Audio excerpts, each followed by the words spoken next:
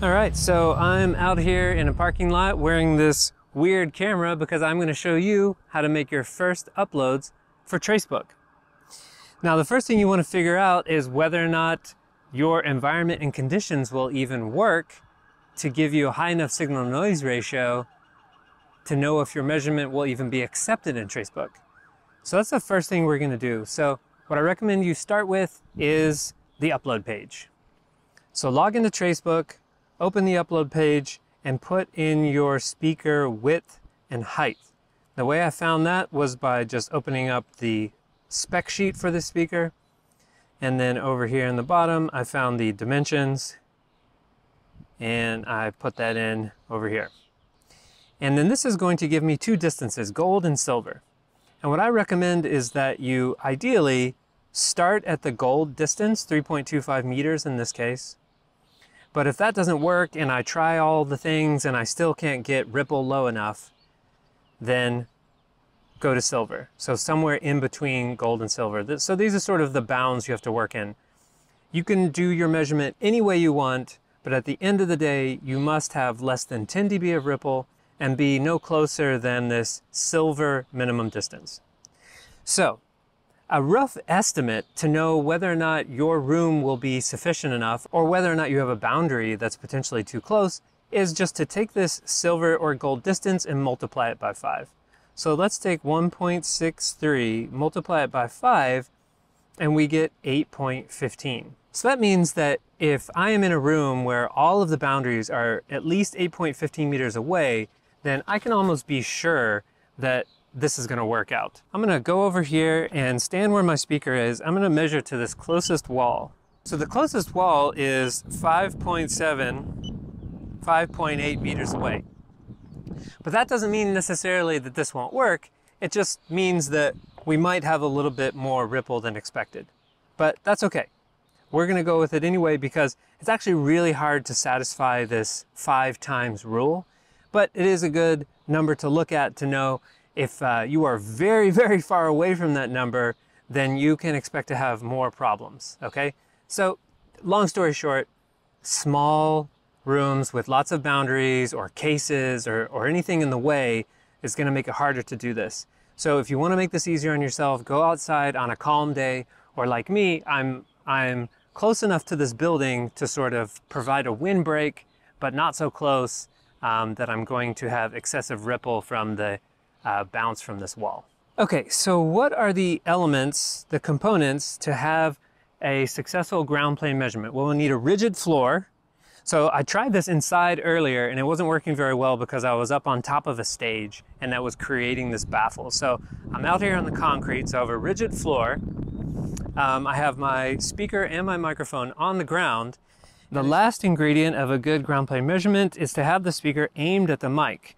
So I'm going to start by placing the microphone at the gold distance, which should be 3.25 meters. So as you can see, I've propped my loudspeaker up here on top of a roll of tape.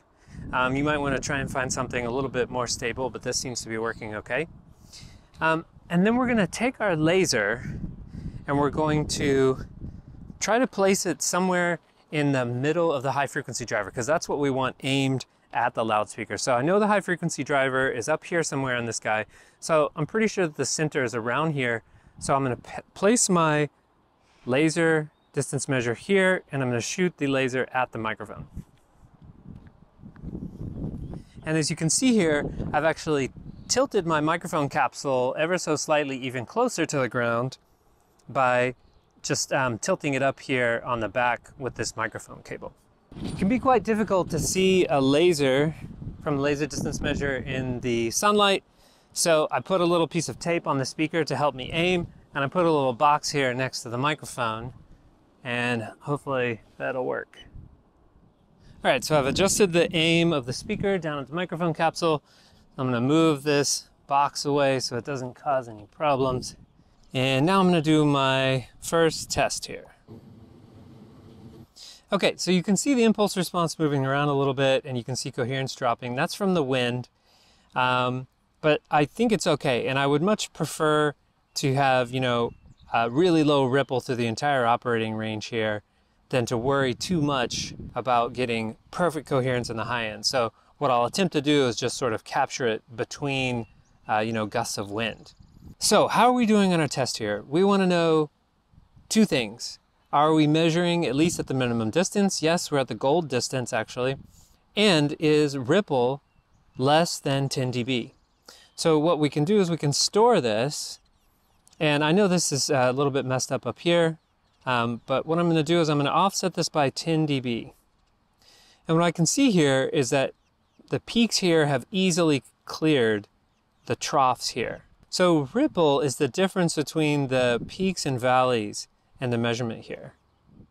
So you can put your cursor here and then put your cursor here, but I find a, a quick, easy way is just to use the trace offset, offset it by 10 dB here, and we can see that the peaks of this guy have easily cleared the valleys of this guy up here. So I'm good on ripple. Another way to test this would be to set the coherence blinking threshold up to 95. Now notice that I have the coherence squared coherence off. Okay, this is off, so I'm using 95%. If this were on, I could use 91%. Okay, so 95%, all this disappears. Let's turn this back on. Okay. And I can see that uh, the vast majority here of the speaker uh, has higher coherence than 95%.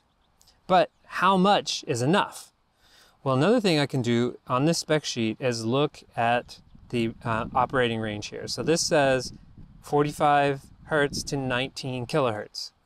And if I set a user zoom level here of 45 hertz to 19 kilohertz, and then I go to that zoom, then I can see, oh yes, okay, it stops here, it stops here, no problem. I've got the entire operating range here showing up above 95, I'm sorry, yes, above 95% coherence. So I did some uh, measurements earlier inside and they looked more like this, okay? And you can see that I've got a lot of missing data here.